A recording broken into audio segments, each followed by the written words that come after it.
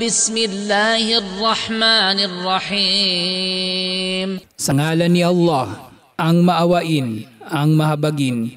تبت يدا أبي لهب وتب Kapahamakan sa dalawang kamay ni Abu Lahab, kalaban ni Propeta Muhammad. Kapahamakan sa kanya, ما أغنى عنه ماله وما كسب walang naitulong sa kanya ang kanyang kayamanan o ang kanyang nakamit. سيصلى نارا ذات لهب Siya ay ipapasok sa impyerno ng naglalagablab na apoy.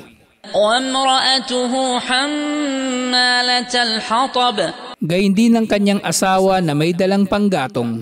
في جيدها حبل من مسد sa kanyang lieg ay ang lubid na gawa sa hibla.